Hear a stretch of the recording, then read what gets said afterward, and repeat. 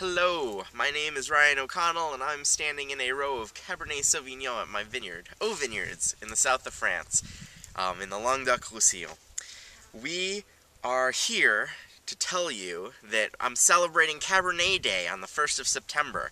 It's going to be a big deal. All day long we'll be having tours, and then at night there's a big shindig where we'll be drinking my Cabernet Sauvignon, some Cabernet Sauvignons and Cabernet Francs from around the region, around France, perhaps around the world, depending on what I can find.